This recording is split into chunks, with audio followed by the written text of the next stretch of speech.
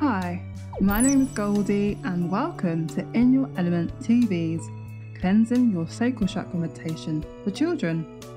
The purpose for this meditation is to cleanse your sacral chakra so you can bring your body and mind into a state of harmony and balance.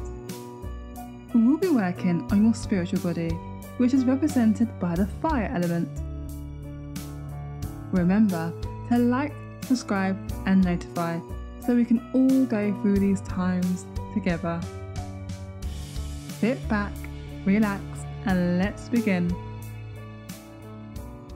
I want you to close your eyes and take a deep breath in and a breath out. Breathe in through your nose and breathe out through your mouth. And again, breathe in through your nose breathe out through your mouth.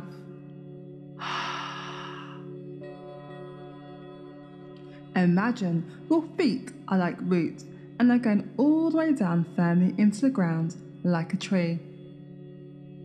Our second chakra is the sacral chakra, which is located below your belly button. It is the colour orange, associated with creativity and joy.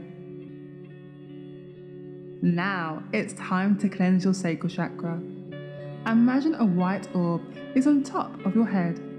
It's traveling through your head, your arms, all the way down to your sacral chakra. This white orb is for purity and it's cleansing your sacral chakra. It's spinning clockwise in your sacral.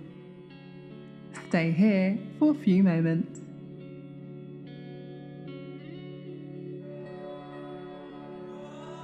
Now, imagine this white orb is going all the way down the center of the earth.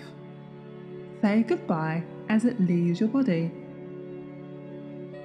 Now, imagine an orange orb is charging your sacral chakra up like a superhero and say the following magical sentence three times. I am creative and enjoy at all times. I am creative and enjoy at all times. I am creative and enjoy at all times. Your sacral chakra is now fully cleansed, and you're more creative in anything that you do, such as singing, dancing, or arts. I want you to tap your shoulders and your arms and legs, wiggle your nose and toes, and bring yourself gently back into the room. Drink plenty of pure water to help this healing process work even better.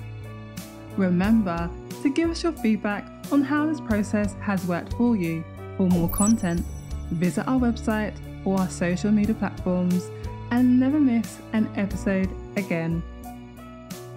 Ciao for now!